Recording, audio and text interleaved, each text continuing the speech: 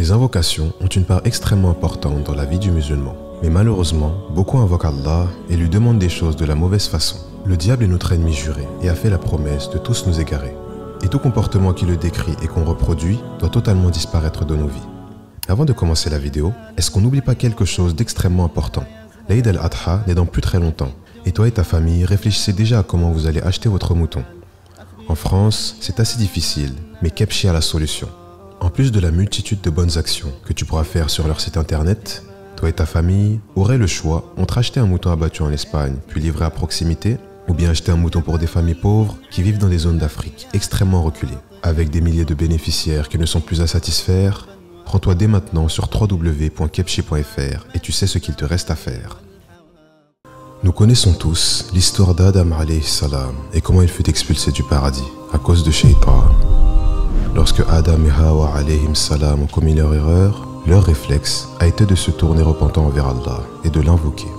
Ils réalisèrent leur erreur et dirent la fameuse parole Ô notre Seigneur, nous avons fait du tort à nous-mêmes, et si tu ne nous pardonnes pas et ne nous fais pas miséricorde, nous serons très certainement du nombre des perdants.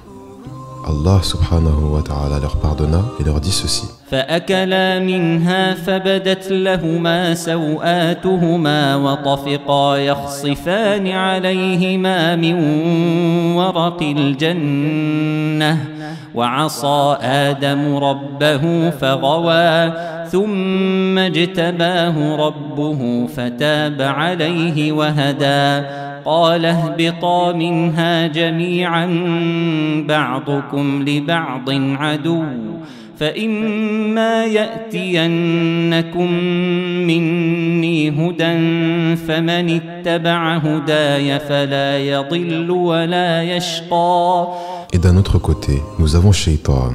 Allah lui ordonne de se prosterner envers Adam alayhi salam par respect et afin de l'honorer. Shaitan, dont l'orgueil ne peut être mesuré, même en étant entouré des anges les plus puissants, et alors qu'Allah lui a donné l'ordre direct de se prosterner, il a violemment refusé et de l'endroit noble où il était fut définitivement écarté. Shaitan, ne trouvant plus de solution, sachant qu'il serait maudit et destiné à l'enfer au jour de la résurrection, sa dernière solution était l'invocation. Il demanda alors à Allah de lui accorder un délai jusqu'au jour de la résurrection. On voit donc que Shaitan, qui sait au fond de lui qu'Allah est le seul qui répond aux invocations, se tourne désespérément vers lui parce qu'il n'a plus aucune solution. Cela alors même qu'il venait de désobéir, sachant qu'Allah est capable de toute chose sur sa création. Allah subhanahu wa ta'ala dit à Adam et Hawa que si nous suivons les messagers, nous ne serons ni malheureux et nous éviterons de nous égarer.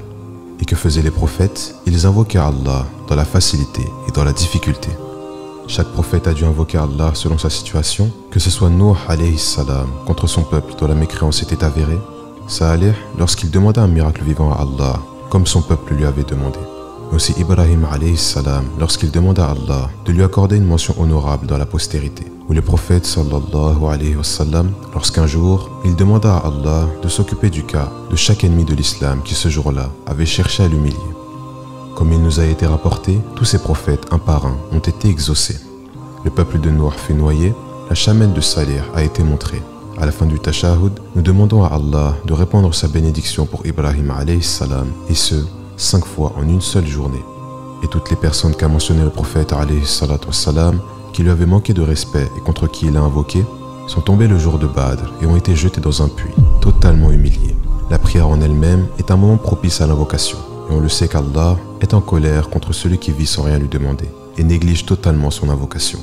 Parmi les bonnes pratiques pendant les invocations, il y a le fait de le faire le plus secrètement, comme le prophète Zachariah salam qui invoqua Allah dans le sanctuaire et eut l'annonce d'un nouvel enfant. Le fait de ne pas oublier de saluer le prophète salam et surtout rester concentré et persister jusqu'à ce qu'Allah nous donne ce qu'on lui a désespérément demandé, que ce soit dans des périodes d'épreuve ou des moments de facilité. Comme on l'a vu dans cette précédente vidéo, ne faisons pas d'action ou de péché qui empêcherait l'exaucement de nos invocations. Gardons un lien ferme et proche avec Allah, qui à travers les invocations veut nous donner sans compter ses bienfaits pour ceux qui se seront bien comportés dans la vie d'ici-bas.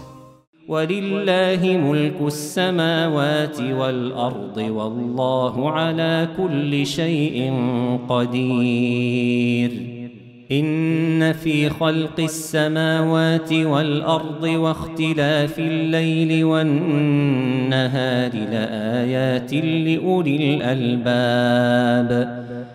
الذين يذكرون الله قياما وقعودا وعلى جنوبهم ۖ وعلى جنوبهم ويتفكرون في خلق السماوات والأرض. ربنا ما خلقت هذا باطلا سبحانك سبحانك فقنا عذاب النار. ربنا إنك من تدخل النار فقد أخزيته وما للظالمين من أنصار ربنا إننا سمعنا مناديا ينادي للإيمان أن آمنوا بربكم فآمنا ربنا فاغفر لنا ذنوبنا وكفر عنا سيئاتنا وتوفنا مع الأبرار. ربنا وآتنا ما وعدتنا على رسلك ولا تخزنا يوم القيامة. إنك لا تخلف الميعاد.